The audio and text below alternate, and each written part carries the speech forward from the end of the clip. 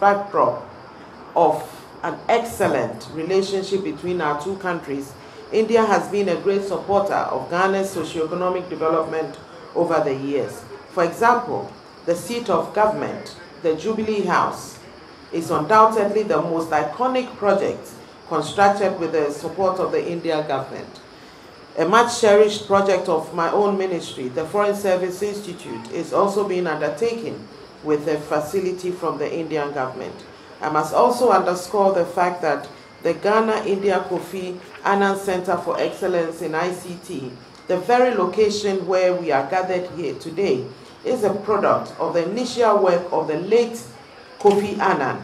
In his capacity as the Secretary General of the United Nations, Mr. Annan approached the Indian government for assistance to develop institutes for the advancement of ICT knowledge on the African continent.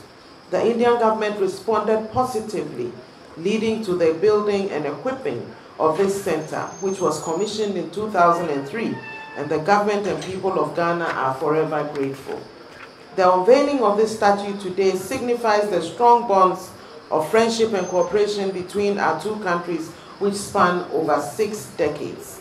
I cannot conclude my remarks without extending my heartfelt appreciation to the Ministries of Communications and National Security, the National Security Council Secretariat, the Indian High Commission, the University of Ghana, Legon, and this center for your diverse contributions towards building this new bridge in Ghana-India relations.